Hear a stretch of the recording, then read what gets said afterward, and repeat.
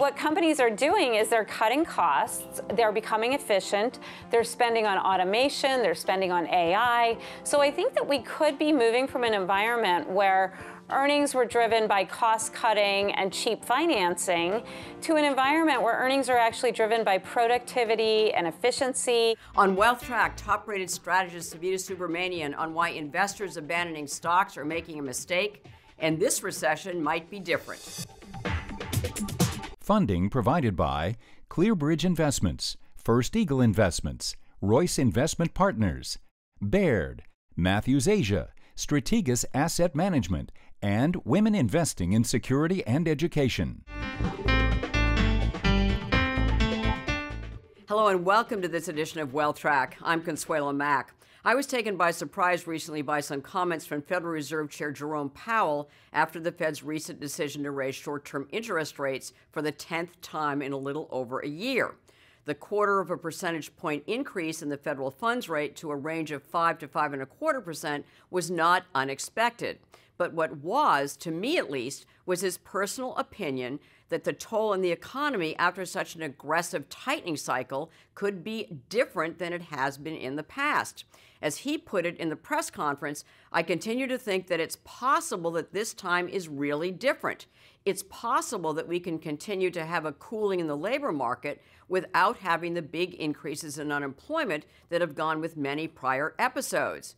Now, that would be against history. He also said the case of avoiding a recession is, in my view, more likely than that of having a recession. Now, what also struck me was that I had heard similar opinions from this week's guest a week before Powell's testimony. Now, when someone in finance says this time could be different, skepticism is usually warranted. But when Powell and Savita Subramanian say it, it deserves a hearing. Savita Subramanian is head of U.S. equity and quantitative strategy at B of A Global Research, where her responsibilities include U.S. sector allocation for equities, forecast for the S&P 500 and other major U.S. indices, quantitative equity strategy, and global ESG research. Subramanian has been named a star analyst by institutional investors for 10 years. She has also been named to Barron's list of 100 most influential women in U.S. finance for the past three years. I asked Subramanian why the Fed's impact on the economy could be different this time. One of the reasons that I think it's different this time is that we literally started at zero on the Fed funds rate. So I feel like we all forget that, you know, we've seen rates go up by 5%, and that sounds like a very high number, and it's been a very short period of time. But the reason is, uh, you know, it's because rates were really depressed. We're coming off of all-time lows uh, on on Fed funds rates, and I think that is a that's important to keep in mind to to sort of quell our nervousness around the idea that rates have moved as quickly as they have and as much as they have. We had a lot of work to do, and I think the the Fed has put a, put us in a better place today because we are now at a point where short rates are now five percent rather than zero, which means that the Fed has more latitude in case things get really bad from here. I think the other thing that's different today, Consuelo, is that you know we're we're at a point where the consumer actually looks healthier than they have heading into prior recessionary environments. And if you think about it, it's thanks to fiscal stimulus, it's thanks to low interest rates. Um, but we've, we've seen consumers really, um, you know, lock in long dated mortgages. 90% of homeowners have fixed rate mortgages. So it's a different environment than what we were seeing in 2007, 2008, where in a way, we learned our lessons from the global financial crisis, and I think that uh, that the private sector is a lot healthier today than it has been in prior cycles. In a recent report, you said this is not your parents' economic slowdown. So, what is it? I think where we are today is an environment where the risks may not reside where we think they do. So, my sense is that we all think, okay, we're heading into an economic soft patch. You want to avoid buying cyclical stocks and you want to buy defensive companies like, um, you know, recurring revenue streams. You want to buy healthcare. You want to buy utilities. You want to buy companies that are, you know, kind of um, less economically sensitive, and you really don't want to be in banks or energy or materials. Well, I think what's interesting right now is that we are at a point where commodities might actually be a little bit safer than we think they are and a little bit less economically sensitive. And financial companies, especially the financial companies that have been regulated by the government over the last 10 years since the, the prior crisis, um, large companies, large banks are actually looking a lot healthier from a balance sheet perspective. So I think this muscle memory that we have of you know, sell banks, sell commodities in a recession might not play through exactly the same way. And then on the flip side, what I worry about is you know, a lot of the companies that look like they've had very smooth and stable earnings growth tend to be multinational companies. And we have been in a 20 plus year period where globalization was frictionless. We could, you know, tax arbitrage, labor arbitrage, you could import goods from cheaper areas of the world, and there was very little risk around global supply chains. So multinational companies had this huge benefit from you know cheaper and cheaper costs that were expanding margins, um, more stable earnings from global diversification of different different end markets, and today it feels like that proposition is coming to a halt.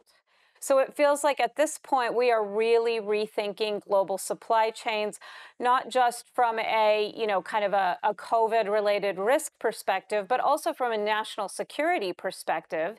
And what we're seeing companies do, companies are very adaptable. Corporate America is very mm-hmm. good at navigating a lot of uncertainty. And what they've already started to do is basically reshore or nearshore or friend shore, whatever you want to call it, but but basically shift their supply chains to less risky parts of the globe, you know, potentially closer to consumers. What we're starting to realize is that the carbon emission costs, as well as just the political, geopolitical landscape, could create more costs than what companies were factoring in before. So that quality theme of multinationals, big global companies, I think is also being called into question. And then mm-hmm. finally, when you think about the poster child for what's worked over the last 10 years, it's technology. We've been in a wonderful environment for technology companies for growth companies. And I think part of that is because they are global and they've been able to take advantage of this, this uh, you know, open borders world that we've lived in. But then on top of that, we've had an environment where the cost of capital has essentially fallen to the lowest levels we've ever seen. So, companies that needed to borrow to grow their businesses, like growthier companies like technology, like um, internet, uh, you know, a lot of these nascent themes have had free capital. And that has been fantastic in terms of funding all of the ideas out there. But today, having gone from zero to 5% on cash yields, it's going to be a very different setup for growth stocks what is priced into the market right now? What are the expectations as far as what the Fed is going to do, for instance, and uh, and what are your views at B of A Global Research? The market expectation is that the Fed will pause and potentially cut rates later in the year. And right. I think that our view from Bank of America, and you know, I listen to our economists, and, and they're very, they've been very ahead of the curve in terms of you know, last year they were actually expecting the Fed to be more aggressive, and the Fed was aggressive. And today, I think where we are is a point where, you know, it's not a slam dunk that we're going to see a rate cut in the next six months.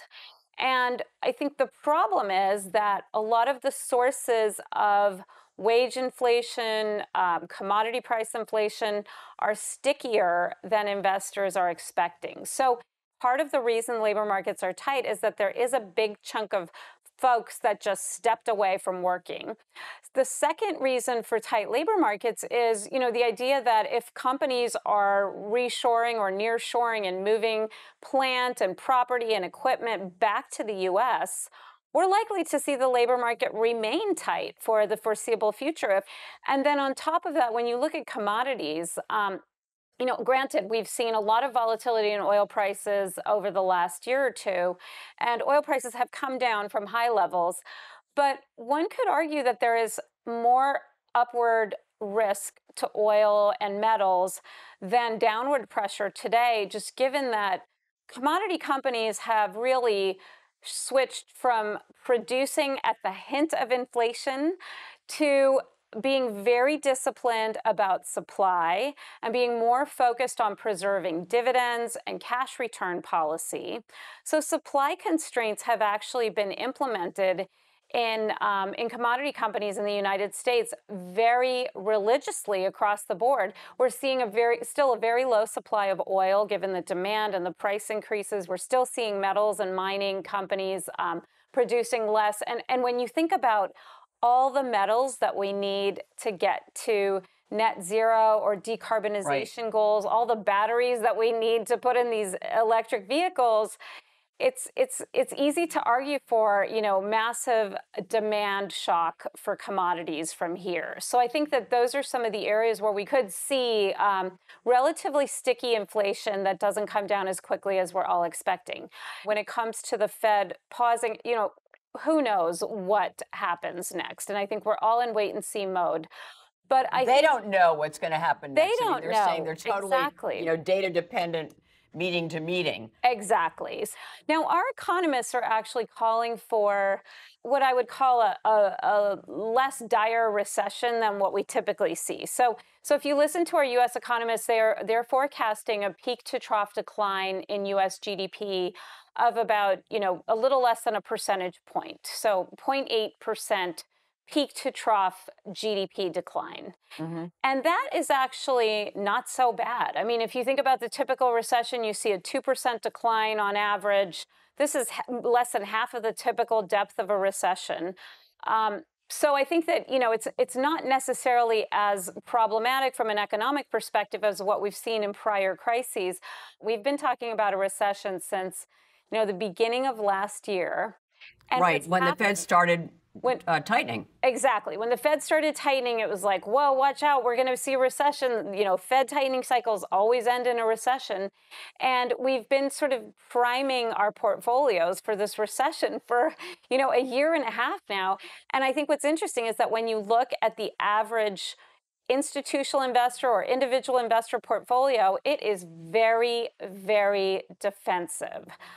As a matter of fact, one, one of the things that, that you said, based again on your institutional investor surveys, is that they hate stocks. I mean, um, and so the, the the portion of institutional portfolios, and this is globally too, right? Yes. That are in in stocks uh, is the lowest is the, that it's been since the global financial crisis. Exactly, right. lower than COVID, um, same levels as the global financial crisis. Mm-hmm. Stock hatred and bond love has gone back to those 2008 levels of you know hiding under the desk and and i think it's interesting because we're we're actually in you know in an environment that doesn't feel as bad as would warrant this level of defensive positioning one of the big changes, the risks that are unanticipated that that always occur when when you do have like a, a kind of a credit crunch that we've got now, um, is that who knew that you know that depositors would just pick up their iPhones and press a button and they would you know withdraw hundred billion dollars from Silicon Valley Bank and understand uh, the portfolio managers who are saying there are a lot of risks. They're just starting to emerge. We don't know where they're yeah. coming from. So therefore, that that's not an unreasonable position, but you think it's a um, mistaken one. Is that right? It's important to always be cautious and know what you don't know about what's happening right now. And the truth right. is, we don't know what pockets of the economy have flourished from just a, you know, a really low cost of capital.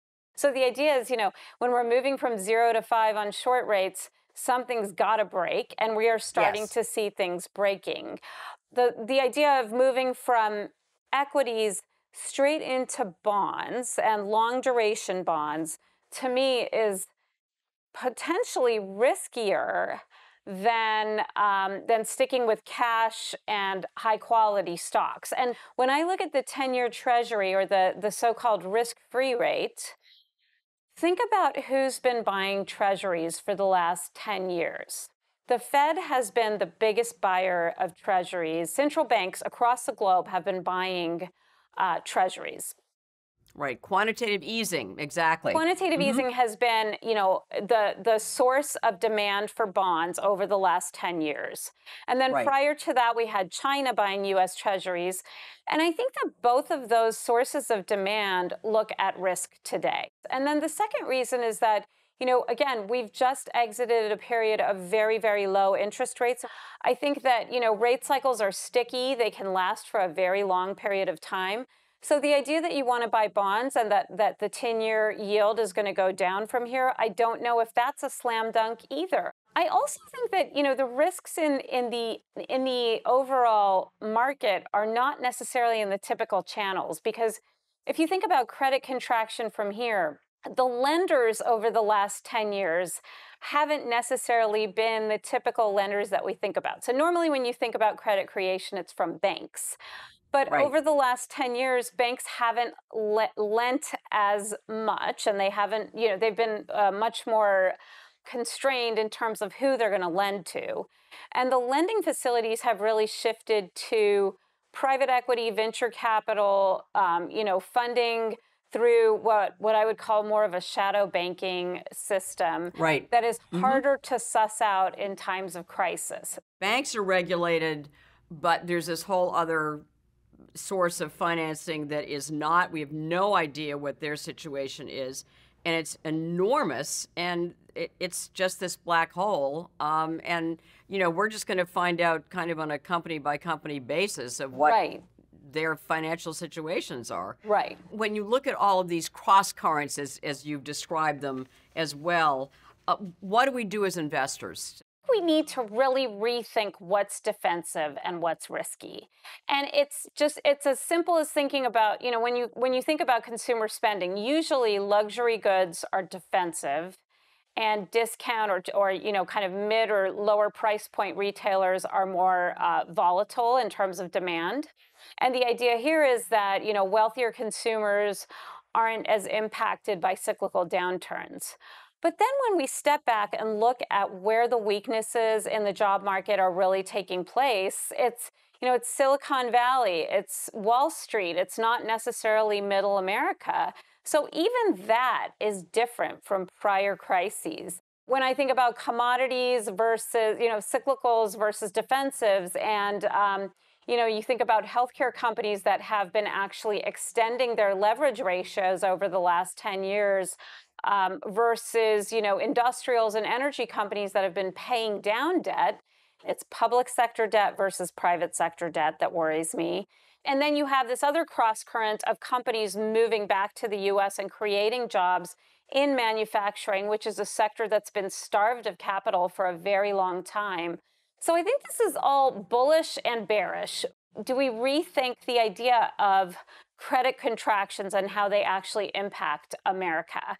Um, mm-hmm. I think the other important thing to remember is that over the last 10 years, we've been in an environment where corporate spending has been very one directional. We've seen spending on share buybacks, we've seen spending on dividends. You know, dividends, share buybacks, tech capex has been very strong, but traditional capex on structures and equipment has been very muted. So, you know, if if companies are now cutting costs, you're not necessarily going to see those costs being hitting manufacturing complexes because they weren't spending there anyway. You're going to see those costs hitting technology. You're going to see less buybacks, less cash return. And I think that's what we need to focus on as the risks around a credit contraction to begin with. I mean, I think what's interesting is if you look at every dollar that has been borrowed or generated by a corporate in the United States, Today, half of that, 50 cents of that dollar, is going towards cash return through buybacks or dividends versus a much smaller percentage in you know 2007 2008 and only 20 cents of that is going towards traditional capex versus a much higher right. capital expenditures exactly right which is actually not great longer term for either the companies or the economy if they're not spending on right new plants and new equipment and I think the good news is, and I want to talk about the bull case for America. And I, I, think that, you know, corporate America is very smart and companies have been very nimble about managing their margins. So when I look at earnings, uh, you know, I'm actually very positively surprised by how stable margins have been over the last year or two, despite the fact that we've been in the highest inflationary environment that we've ever seen.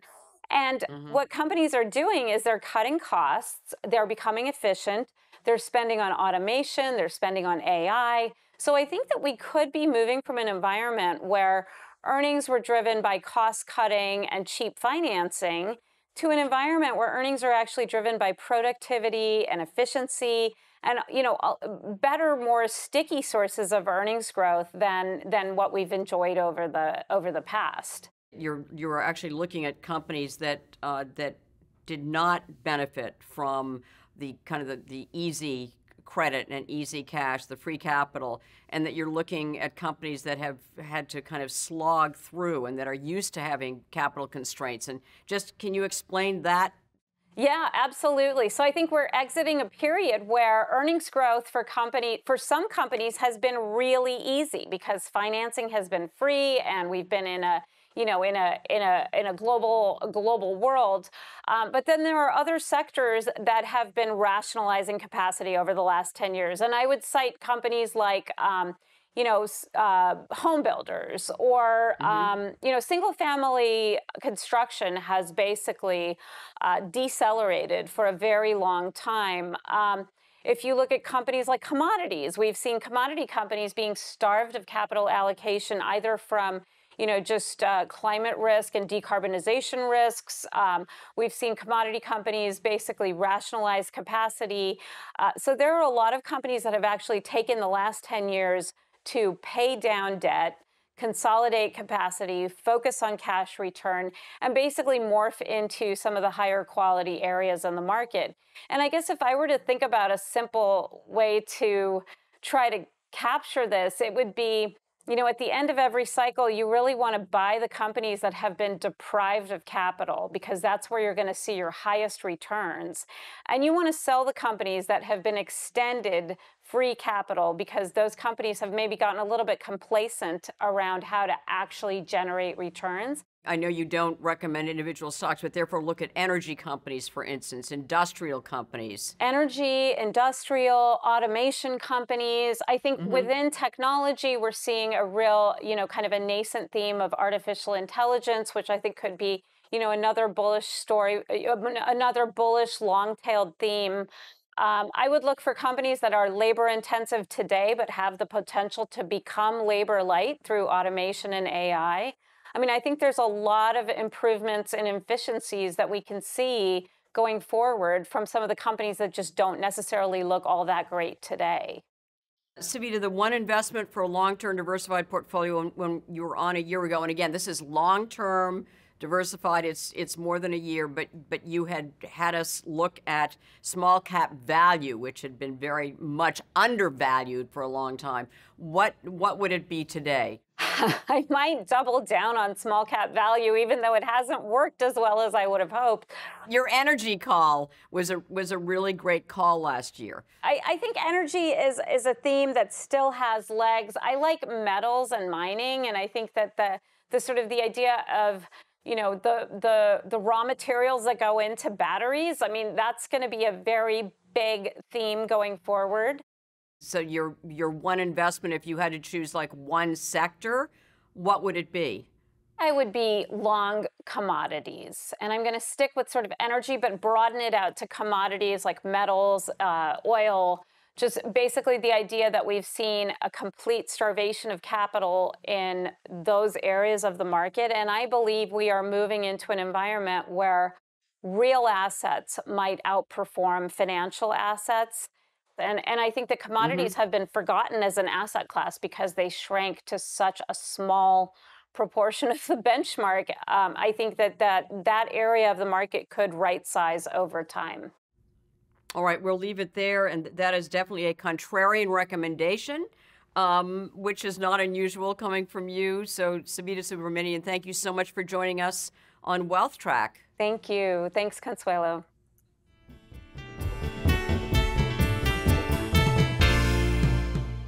At the close of every wealth track, we try to give you one suggestion to help you build and protect your wealth over the long term. This week's action point is avoid panic selling. Research provided by B of A Global Research shows that since the 1930s, the best stock performance frequently follows the worst when investors are most likely to sell. It turns out that the best 10 days of returns in each decade were preceded by deep declines in the prior three months, an average of negative 11%. In every decade except the 1930s, the pattern held. Declining markets preceded the most outstanding returns. The moral to this story is selling into a declining market is a poor strategy for investment success. Next week, our annual sit down with David Rosenberg. What does the outspoken, data rich, and frequently contrarian economist have to say about the economy and markets now? We'll find out. In this week's extra feature, Savita Subramanian shares her techniques for keeping cool in chaotic markets. Please follow us on Facebook, Twitter, and our YouTube channel. Thank you for taking the time to join us today. Have a wonderful Mother's Day weekend and make the week ahead a healthy, profitable, and productive one.